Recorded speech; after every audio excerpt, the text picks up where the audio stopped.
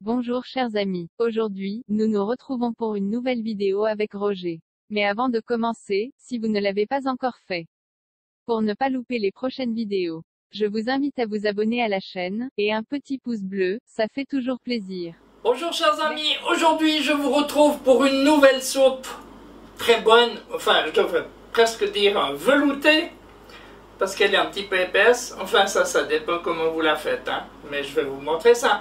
Une soupe faite avec un chou-fleur et du lait de coco. Les deux se marient très bien ensemble. Vous allez être émerveillés. Je vous invite à la faire, c'est très très bon et euh, en plus c'est assez vite fait. Je vous montre ça tout de suite. Pour faire cette bonne soupe, euh, j'aurai besoin d'un beau chou-fleur, de l'eau, du bouillon en poudre, du bouillon de légumes en poudre que je fais moi-même. Regardez le lien en haut si vous voulez le faire un peu de noix de cajou, du lait de coco et du cumin. Dans un premier temps, je vais griller mes noix de cajou à sec.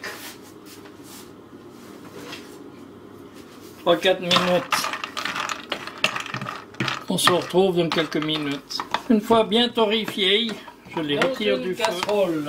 Je vais y mettre de l'eau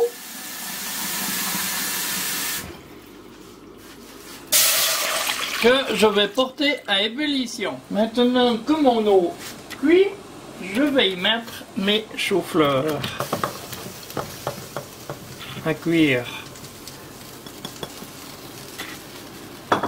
Je vais les laisser cuire environ 20 minutes. On se retrouve dans 20 minutes. Entre temps, pendant que mes choux-fleurs cuisent, mes noix de cajou, je vais les concasser. Donc je prends un papier ménage comme ça. Et avec mon rouleau, je tape un petit peu dessus.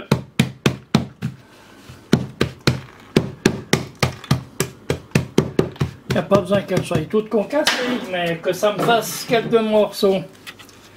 Comme ça, c'est impeccable. Ça fait maintenant environ 20 minutes. Je contrôle.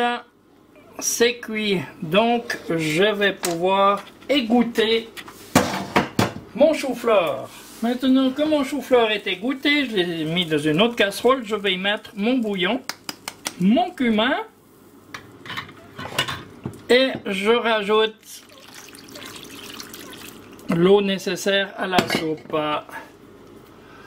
Je vais porter ça à ébullition et on se retrouve dans 5 minutes. Maintenant c'est à ébullition, je vais baisser le feu.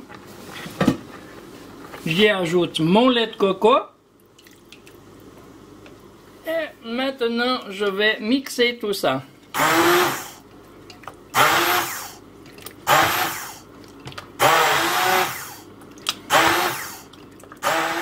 La recette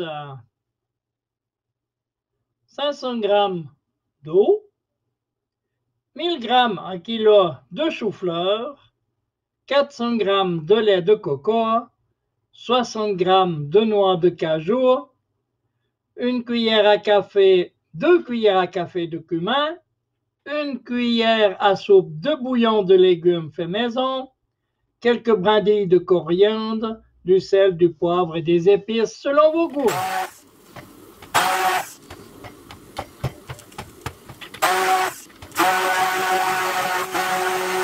Voilà, et maintenant que c'est fini de mixer, euh, si vous la trouvez un petit peu trop épaisse, vous pouvez rajouter un tout petit peu d'eau. Pour moi, elle va très bien. Bien sûr, là, on va contrôler le sel et le poivre. Et après, elle sera prête à être servie. Et voilà ma soupe, enfin mon velouté, si je peux l'appeler comme ça, est prêt à être servi. Hmm, si vous aviez l'odeur, vous seriez émerveillé. Et voilà mon bol de soupe. Je vais y mettre un petit peu de noix de cajou dessus pour la garniture. Et aussi quelques brins de coriandre. Comme ça.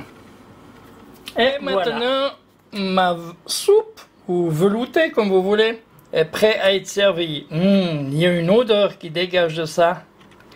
C'est fantastique. La noix de coco avec le chou-fleur, c'est quelque chose de fantastique.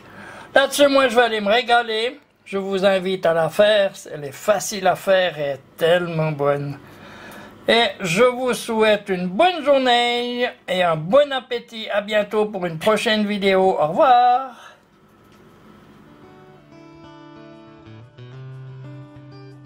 N'oubliez pas, un petit pouce bleu, abonnez-vous, partagez mes vidéos et merci de laisser un commentaire.